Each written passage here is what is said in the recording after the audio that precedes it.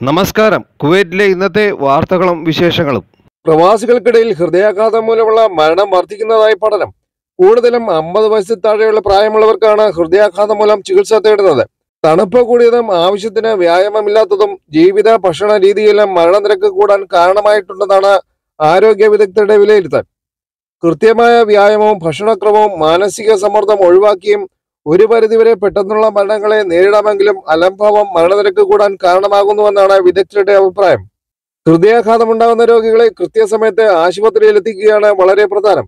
ഇങ്ങനെയുള്ള രോഗികളെ ഉടൻ ആശുപത്രിയിൽ എത്തിക്കാതിരിക്കുന്നതും സാമ്പത്തിക ലാഭം നോക്കി കൃത്യസമയത്തിന് വൈദ്യ ചികിത്സ തേടാതെ സ്വയം രോഗനിർണയം ചെയ്യുന്നതും അപകടം വിളിച്ചു വരുത്തുമെന്നാണ് ഡോക്ടർമാർ പറയുന്നത്.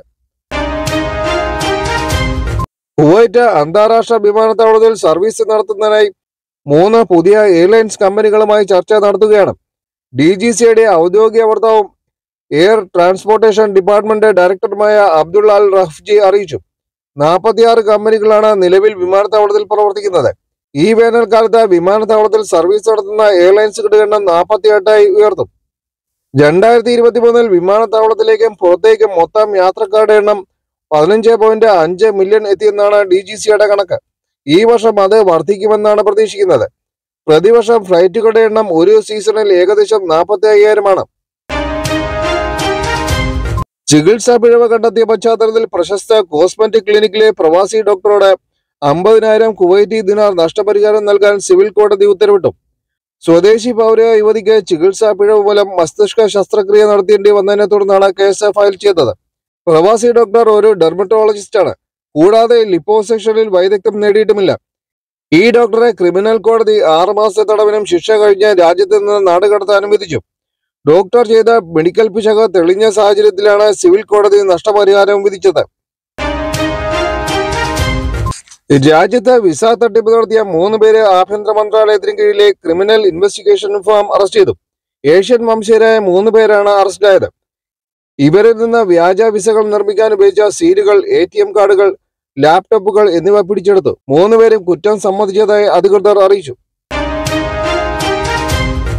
രാമക്ഷേത്രത്തിലെ പ്രാണപ്രതിഷ്ഠ ചടങ്ങിൽ ആഹ്ലാദം പ്രകടിപ്പിച്ച മധുരം വിതരണം ചെയ്ത ഇന്ത്യക്കാരെ കുവൈറ്റിൽ നിന്ന് കയറ്റി ഒമ്പത് ഇന്ത്യക്കാരെയാണ് ജോലി ചെയ്യുന്ന രണ്ട് കമ്പനികൾ ജോലിയിൽ നിന്ന് പുറത്താക്കി രാജ്യത്തേക്ക് കയറ്റി അയച്ചത് തിങ്കളാഴ്ചയോടെയാണ് ഇവർ ജോലി ചെയ്യുന്ന കമ്പനിയിൽ ആഹ്ലാദം പ്രകടിപ്പിച്ച മധുര പലഹാരങ്ങൾ വിതരണം ചെയ്തത്.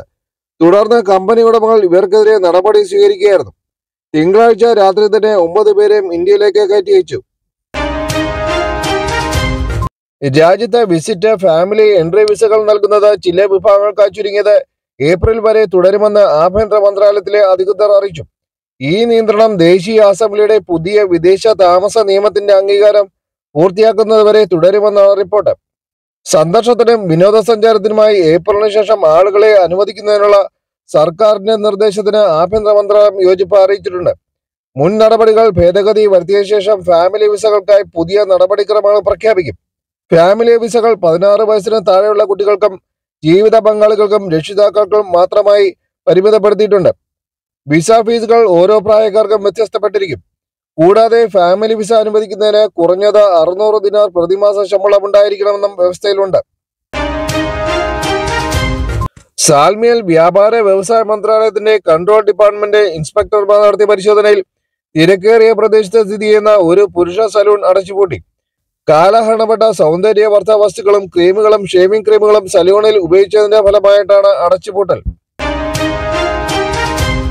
കുവൈറ്റ് അന്താരാഷ്ട്ര വിമാനത്താവളത്തിലെ ഡിപ്പാർച്ചർ ഗേറ്റിന് മുന്നിൽ സുരക്ഷാ ഉദ്യോഗസ്ഥർ തമ്മിൽ സംഘർഷം. എയർപോർട്ടിലെ സുരക്ഷാ ഉദ്യോഗസ്ഥരും ട്രാഫിക് പോലീസും തമ്മിലാണ് സംഘർഷം. വാക്കേറ്റമുണ്ടായതിന്റെ വീഡിയോ ക്ലിപ്പുകൾ സാമൂഹ്യ മാധ്യമങ്ങൾ വഴി പ്രചരിച്ചു. വിമാനത്താവളത്തിലെത്തിയ തന്റെ സുഹൃത്തിന്റെ ഗതാഗത നിയമ ലംഘനം രേഖപ്പെടുത്തരുതെന്ന് വിമാനത്താവളത്തിലെ സുരക്ഷാ ഉദ്യോഗസ്ഥൻ ട്രാഫിക് ഉദ്യോഗസ്ഥരോട് വാസ്തു നടത്തി. ഇത് ട്രാഫിക് പോലീസ് ഉദ്യോഗസ്ഥർ നിരസിച്ചതാണ് സംഘർഷത്തിന് കാരണമായെന്ന പ്രാഥമിക കണ്ടെത്തൽ. സംഭവത്തിൽ ആറ് ഉദ്യോഗസ്ഥരെ സർവീസിൽ നിന്ന് പിരിച്ചുവിട്ടു. ഇസ്ര അൽ മിറാജിന്റെ ഭാഗമായി ഫെബ്രുവരി എട്ടിന് ബാങ്കുകൾ ഔദ്യോഗിക അവധി നൽകി. സെൻട്രൽ ബാങ്ക് ഓഫ് കുവൈറ്റ് ഇത് സംബന്ധിച്ച സർക്കുലർ പുറത്തിറക്കി. വെള്ളി ശനി ദിവസങ്ങൾ പതിവ് അവധിയായതിനാൽ ഫെബ്രുവരി പതിനൊന്ന് ഞായറാഴ്ചയായിരിക്കും എല്ലാ ബാങ്കുകളും പ്രവർത്തനം പുനരാരംഭിക്കുന്നതെന്ന് കുവൈറ്റ് ബാങ്കിംഗ് അസോസിയേഷൻ വ്യക്തമാക്കി. അൽ അസറാക്ക് സീസൺ ആരംഭിച്ചു. എട്ട് ദിവസത്തേക്ക് തുടരുമെന്നും അൽ അജരി സയന്റിഫിക് സെന്റർ അറിയിച്ചു. ശൈത്യകാലത്തെ ഏറ്റവും തണുപ്പുള്ള ദിവസങ്ങളാണിത്. പ്രത്യേകിച്ച് തുറന്നതും മരുഭൂമിയുമുള്ള പ്രദേശത്ത് കടുത്ത തണുപ്പ് അനുഭവപ്പെടും. കാർപ്പ സീസണിനെ രണ്ട് നക്ഷത്രങ്ങളായിട്ടാണ് തിരിച്ചിരിക്കുന്നത്. അൽ അൽബലാദ അൽബലാദ അൽ ബലാദ നക്ഷത്രം അടുത്ത ഞായറാഴ്ച ആരംഭിച്ച പതിമൂന്ന് ദിവസം നീണ്ടു നിൽക്കും ആ സമയത്തെ കാലാവസ്ഥ തണുപ്പുള്ളതും ഈർപ്പമുള്ളതുമാണ്.